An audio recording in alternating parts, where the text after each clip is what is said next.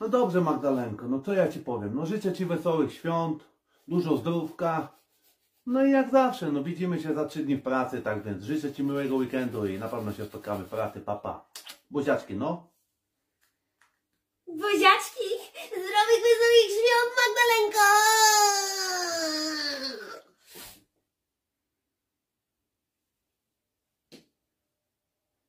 Co, do Magdalenki sobie piszesz? Za trzy dni jest koniec świąt, będzie Magdalenka w pracy!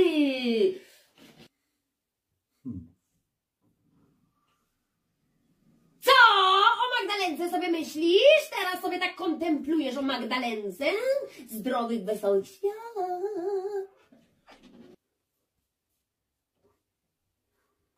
Jeszcze tutaj jest krzywo, co dla Magdalenki się cieszę?